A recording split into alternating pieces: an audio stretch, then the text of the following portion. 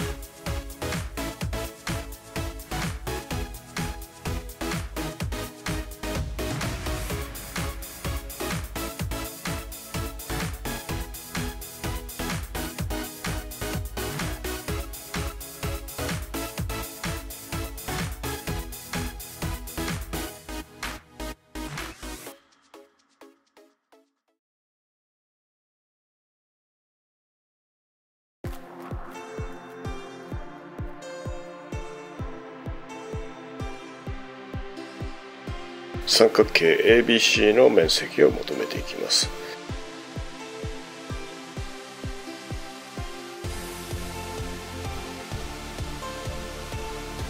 ピンクの三角形は合同な直角二等辺三角形。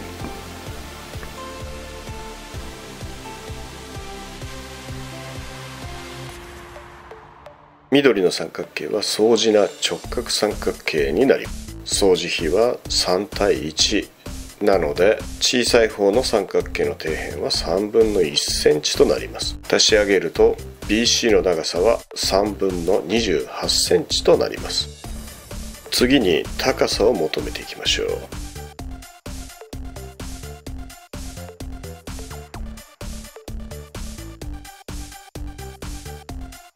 三角形 ADE と三角形 ABC の相似比は4対3分の28これは3対7というふうになりますね。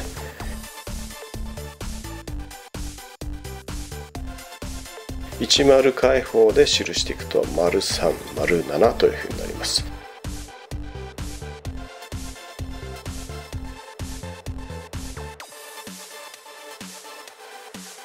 三角形 ADE の高さは3三角形 ABC の高さは7そして残りの分は4これがちょうど一番大きい正方形の4センチと同じになりますので4センチ7センチ3センチというふうな数が求められます。三角形 ABC の面積は3分の98平方センチメートル。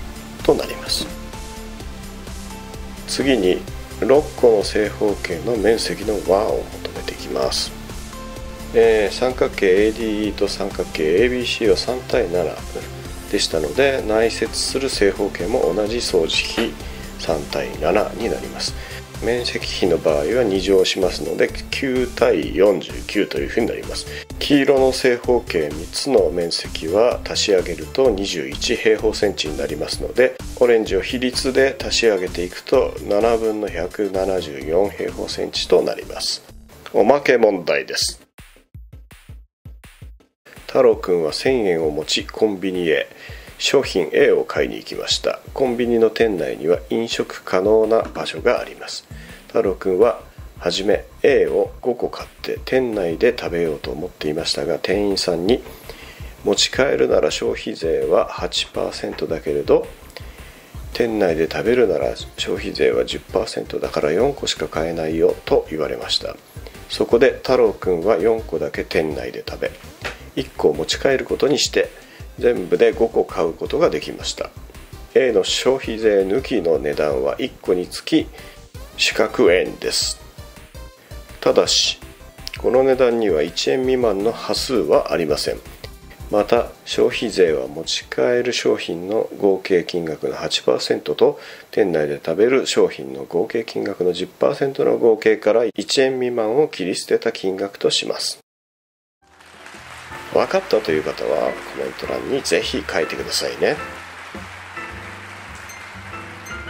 最後までありがとうございました。登録やグッドクリックをお待ちしております。